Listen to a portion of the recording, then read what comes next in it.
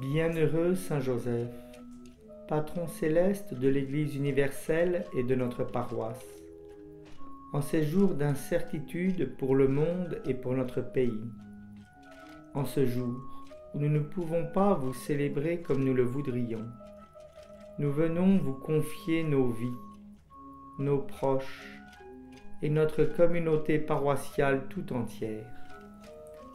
Accordez-nous d'être attentifs à notre prochain, comme vous l'avez été vous-même avec ceux qui vous ont été confiés.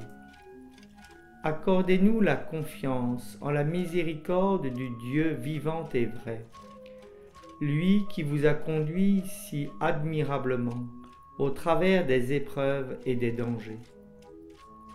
Accordez-nous de grandir dans la foi, à la suite de Marie, sans perdre l'espérance en la victoire du Christ ressuscité, vainqueur de la mort et des ténèbres.